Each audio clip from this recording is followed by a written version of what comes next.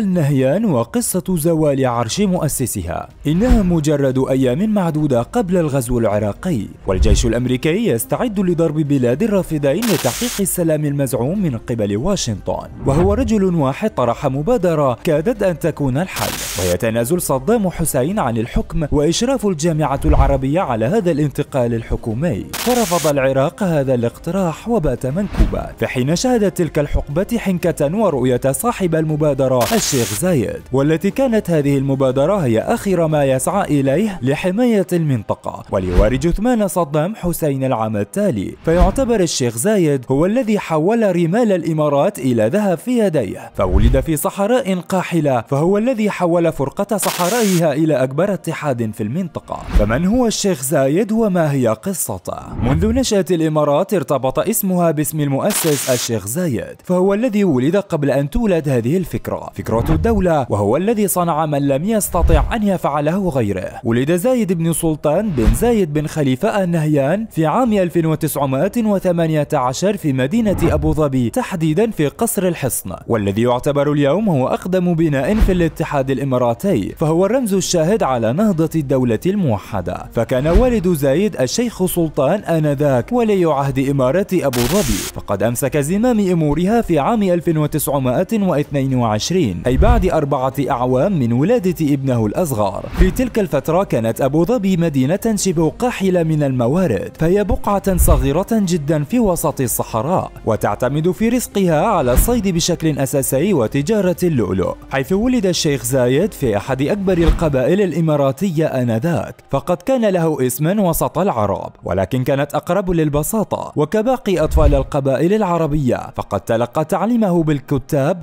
وقد تعلم الشريعة الشريعة وأصول الفقه وقد حفظ القرآن الكريم كاملا. فقد كان زايد هو أقرب الأبناء لأبيه فكان يرافقه في جميع رحلاته. فكان أكثر أبناء الشيخ سلطان دراية بالأمور السياسية والاقتصادية ولكن تأتي الريح بما لا تشتهي السفن. ولتأتي المنية لأبيهما الشيخ سلطان ولتتغير حياة أبنائه من بعده. فحمل أبنائه أمتعتهم ليتركوا أبو ظبي متجهين للشارقة ثم يعودون إلى مسقط رأسهم مع تولي الشيخ شخبوط شقيق شيخ زايد مقاليد الحكم في الإمارة في عام 1928 وما إن تم عمره 28 عاما تولى إدارة مدينة العين بأمر من شقيقه حاكم الإمارة. ولتولي حكم المدينة التي كانت تعاني من نقص حاد بجميع الموارد وغياب تام للمؤسسات والخدمات. وتحدى نفسه ليحسن من معيشة المدينة. وفي خمسينيات القرن الماضي افتتح أول مدرسة بهذه المدينة. ويقوم يقوم الشيخ زايد بزيارة العديد من الدول والبلدات. أشهرها المملكة المتحدة وفرنسا والهند وبعض الدول العربية. في مطلع الستينيات بدأ التنقيب البريطاني بالتنقل عن النفط في الإمارة والإمارات المجاورة لها وليكتشفوا أولى قطراتها في إمارة أبو ظبي ولتضغط المملكة المتحدة على حكام الإمارة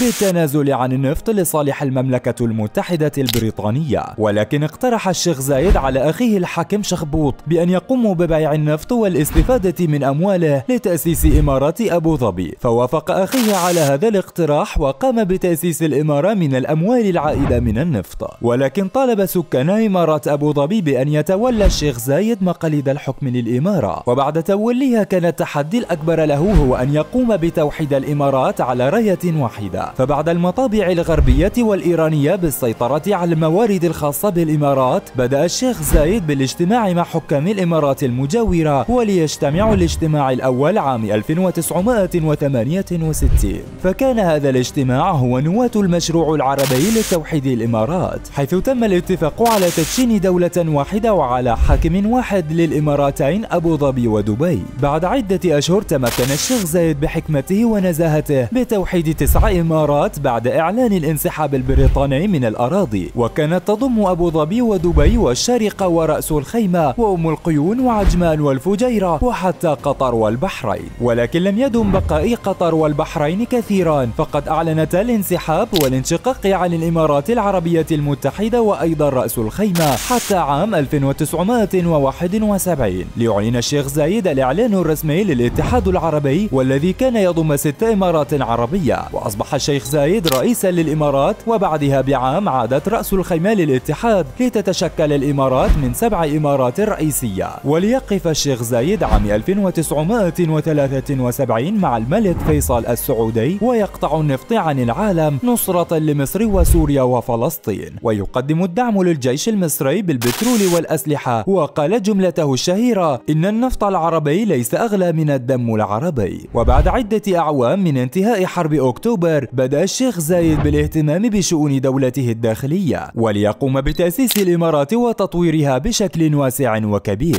وليحول صحرائها إلى بناء متين وقوي تعالت بنيانه. فرسم خطة ونهج للإمارات ما زالت تسير عليها حتى اليوم. وفي عام 1981 تأسس مجلس التعاون الخليجي الذي كان للشيخ زايد دورا كبيرا في تحقيق هذا التعاون. وقام بتطوير الإمارات التي نراها اليوم. فقام بتأسيسها حتى وفاته عام 2004 والذي قد ترك خلفه بلدا متقدما يتمتع بالرفاهية. رحم الله الشيخ زايد وأسكنه فسيح جناته. وأنتم هل تعتقدون أن الشيخ زايد هو اللبنة الأساسية في بناء الإمارات العربية المتحدة؟ شاركنا رأيك بالتعليقات.